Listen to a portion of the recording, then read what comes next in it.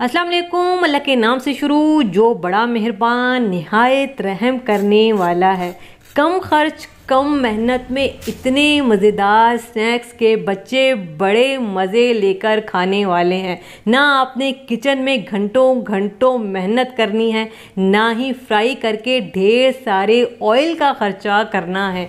Kitchen में रखी हुई चंद चीज़ों का इस्तेमाल करते हुए बेहतरीन किस्म का स्नैक्स आप बनाएँ शाम की चाय के लिए या फिर बच्चों के स्कूल के लंच बॉक्स के लिए। तो किस तरीके से बनेगी ये मज़ेदार रेसिपी? रेसिपी देखें, पसंद आती है, चैनल को ज़रूर सब्सक्राइब करना है। स्टार्ट करेंगे रहीम तो यहाँ पर मैंने आलू ले लिए हैं। आपने जितने भी स्नैक्स बनाने हैं, उस हिसाब से आपने आलू लेने हैं। मैंने यहाँ पर चार मीडियम साइज़ के आलू लिए हैं।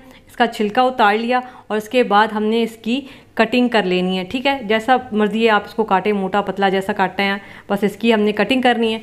अब हमने इनको अच्छे से धो लेना है ताकि अगर आलूओं में मट्टी वगैरह है तो वो अच्छे से निकल जाए। इसके बाद हमें एक अदद पैन चाहिए होगा, इसमें मैंने खुला पानी डाला है और इसमें ये आलू डाल देंगे। और इन आलूओं को हमने बॉईल करना है। अच्छा सा गला लेना है। ठीक है? अब देखें, आलू हमारे पास बॉयल होकर आ गए हैं और आलू को चाहें तो आप हाथ की मदद से मैश कर सकते हैं या फिर कद्दूकश कर सकते हैं, जैसे आपको आसानी लगे उस तरीके से कर सकते हैं, लेकिन मैंने यहाँ पे इनको कद्दूकश किया है। ठीक है? तो यहाँ पे देखें, आलू हमारे पास इस तरह से कद्दूकश होकर आ गए हैं। अब इसमें कुछ चीज़ें जाएँगी। टू टेबल स्पून मैं इसमें डालूँगी हरा धनिया। इसके अलावा एक छोटे साइज़ की प्याज चॉप करके डालेंगे और हाफ़ टी स्पून पिसी हुई लाल मिर्च हाफ़ टी स्पून नमक, इसके अलावा हाफ़ टी स्पून कुटी हुई काली मिर्च डालेंगे half teaspoon chaat masala जाएगा और वन टेबल स्पून मैं इसमें चिली गार्लिक सॉस डाल रही हूँ। अगर आपके पास चिली गार्लिक सॉस ना हो तो आप प्लेन वाला केचप डाल सकते हैं, लेकिन फिर आप इसमें जो है वो वन टी स्पून लहसुन का पेस्ट डालिएगा, ठीक है? फिर ज़्यादा अच्छा फ्लेवर आएगा। तो इसको थोड़ा सा मिक्स किया है। अब मैं इसमें वन टेबल स्पून मायोनीज़ डाल रही हूँ। आपके पास जो चीज़ें किचन में मौजूद हों तो आप वो डाल सकते हैं। इसमें से जो भी चीज़ आपके पास ना हो, आप स्किप कर सकते हैं। कोई मसले वाली बात नहीं है। ठीक है तो यहाँ पे देखें, इसकी अच्छी सी मिक्सिंग हो चुकी है। आप चाहें तो इसमें रेशा किया हुआ चिकन भी डाल सकते हैं, शिमला मिर्च या फिर कटी हुई गाजर भी डाल सकते हैं। इसकी मिक्सिंग हो चुकी है।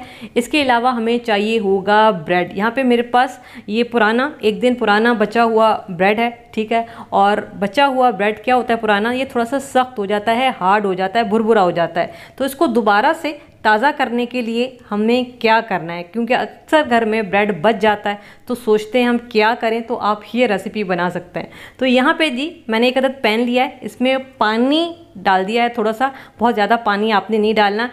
और इसके ऊपर मैंने सुराखों वाला इस तरह का ढक्कन रख दिया है, ठीक है? और इस पे हम थोड़ा सा लगा देंगे ऑयल ताकि जब हम इसके ऊपर ब्रेड रखें तो ये इसके साथ चिपके नहीं।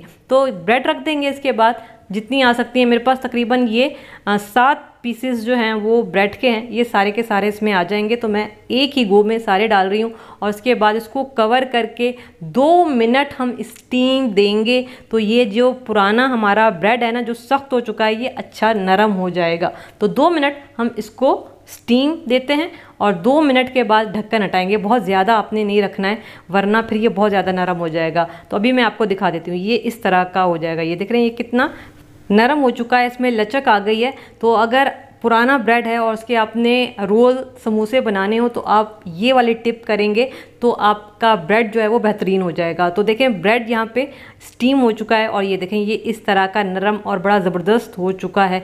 अब हमने क्या करना है, इसको बेलना है। बेलना आपने गरम गरम ही है, इसको ठंडा नहीं होने देना।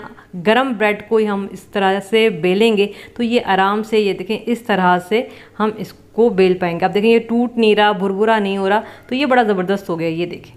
ये ये इस तरह का हमारा ब्रेड हो जाएगा। तो जितने भी मेरे पास ब्रेड के स्लाइसिस थे, मैंने इसी तरीके से इनको बेल लिया है और इसके बाद हम क्या करेंगे? दोबारा से ये ब्रेड का स्लाइस लेंगे और जो हमने आलू का मिक्सचर तैयार किया था, ये हम इस पर डाल देंगे। अच्छा बहुत ज़्यादा आलू का मिक्सचर हमने नहीं डालना। वन टेबल स्पून ही मैं आपके सामने डाल रही हूँ और बस इतना ही डालना है। बहुत ज़्यादा भरना नहीं है हमने इसको। और ये पूरी ब्रेड पे हम फैला लेंगे। ये देखें, इस तरह से और इसके बाद हम क्या करेंगे? इसको इस तरीके से फोल्ड करेंगे। ये दो किनारे इस तरीके से मिलाएँगे, ठीक है? और फिर ये वाला किनारा जो है इस तरह से और ये वाला किनारा इस तरह से मिलाएँगे। तो सबसे अच्छी बात यह है कि इसमें आपको ब्रेड क्रम्स की भी ज़रूरत नहीं है, अंडे की ज़रूरत नहीं है। तो ये ऐसे ही बहुत मज़ेदार आपका स्नैक्स तैयार हो जाएगा। ठीक है जी, ये हो गया। मैं आपको एक और करके बताती हूँ कि यहाँ पे एक अदद ब्रेड का स्लाइस चाहिए होगा और इसमें मैं चीज़ डालूँगी क्योंकि बहुत सारे बच्चे जो हैं के तकरीबन सारे ही बच्चे चीज़ पसंद करते हैं तो चीज़ डालेंगे। मैं मुजरेला डाल रही हूँ, आप चैडर भी डाल सकते हैं, ठीक है? और इसके बाद दोबारा से वन टेबल स्पून आलू का मिक्सचर डालेंगे। और इस तरह से फैलाएँगे। बहुत ज़्यादा भरना नहीं है, वरना फिर जो है ना ये बहुत ज़्यादा हैवी हो जाएगा और फिर मज़ा नहीं आएगा। और फिर वैसे ही हम इसको फोल्ड करेंगे जैसे पहले किया था। ये देखें, ठीक है? ये देखें जी। इस तरह से फोल्ड करेंगे और ये देखें, ये कितना खूबसूरत सा इसकी जो है वो शक्ल आ जाएगी। और इसी तरीके से हमने बाकी के सारे भी बना लेने हैं। तो यहाँ पे ये ज़बरदस्त हमारा स्नैक जो है वो तैयार हो गया है।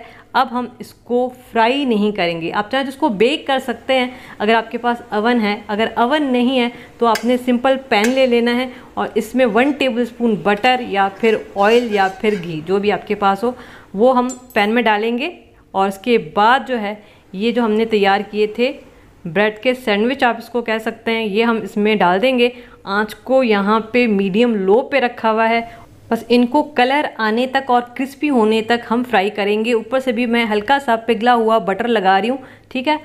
ये देखें, इस तरीके से सारे स्नैक्स पे लगाएँगे और उसके बाद जो है, एक साइड पे जब कलर आ जाएगा, एक से दो मिनट के बाद तो हम इसको पलट लेंगे। मेरे पास पैन है, अगर आपके पास ग्रिल पैन है तो आप उसके ऊपर भी कर सकते हैं। ये और ज़्यादा आपको अच्छा खूबसूरत लगेगा।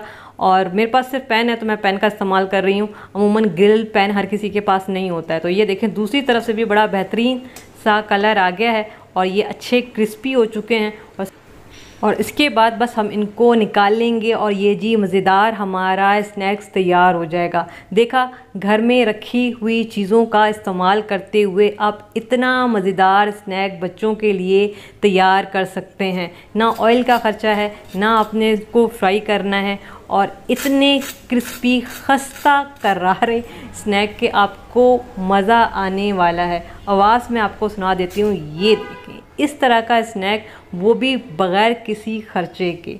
तो स्टफिंग आप अपने हिसाब से इसमें डाल सकते हैं, जो भी आपके बच्चों को पसंद है। चाहे तो आप इनको बेक भी कर सकते हैं। और अभी मैं आपको तोड़ के दिखा देती हूँ कि ये कितने मज़ेदार हैं, ये देख तो ब्रेड अक्सर घर में बच जाता है, आलू भी घर में मौजूद होते हैं। तो आप इस तरह से ये मज़ेदार स्नैक बच्चों के लिए या फिर शाम की चाय के लिए बना सकते हैं। तो बनाइएगा ज़रूर, मुझे ज़रूर बताइएगा कैसे बने।